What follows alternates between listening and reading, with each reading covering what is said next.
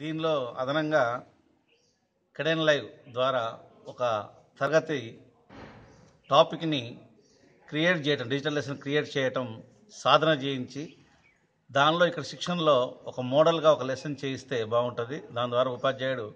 ఒక కాన్ఫిడెన్స్తో పాఠశాలకు వెళ్ళి తన